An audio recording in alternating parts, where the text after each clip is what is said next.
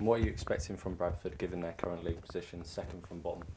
It's, it's a big game. It's a massive game. They're going to be, they're going to be well up for it. They're at home, but so are we. We've, we've got nothing to fear going there. We've got to go there and be on the front foot. Um, and like I say, just go into the game and, and treat it like the games we have done in the cup. Um, and I'm sure we'll be more than fine. Of course, with this FA Cup run, that means we've got a few games in hand. So if we win a couple of these, it's a real opportunity to shoot up that table, isn't it? Yeah, and, and we, we are looking up. Um, I know it's tight down there, but we are looking up. We've got to stay positive, remain positive. There's a lot of games to go. Um, the massive games coming up. There's no there's no hiding away from that, and we just got we just got to go and do the business.